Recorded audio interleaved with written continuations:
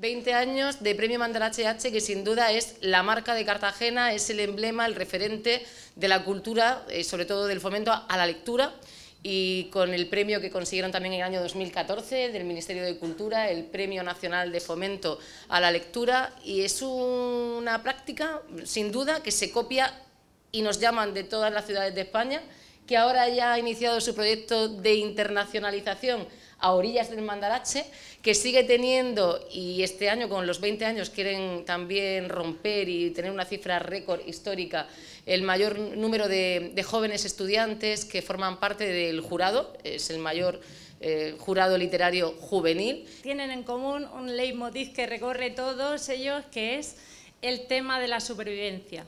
La lucha por la supervivencia es algo común que une a los tres protagonistas de las historias. Que yo creo que son tres libros muy bien escogidos y que os van a encantar y que van a conectar de una manera o de otra con vosotros.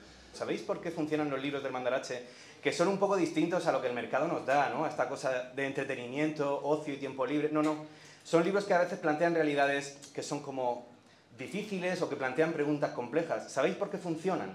porque no os los damos de manera paternalista, como si quisiéramos que, aprender, que aprendierais algo, ¿no? Ahí no hay ningún conocimiento que queramos que aprendáis. Lo que queremos es, y nos pasa también a los profes que leemos esas, esas lecturas, es hacernos preguntas con vosotras y con vosotros alrededor de esos libros. Porque no nos dan respuestas esos libros, nos dan dilemas complejos del mundo en el que vivimos hoy.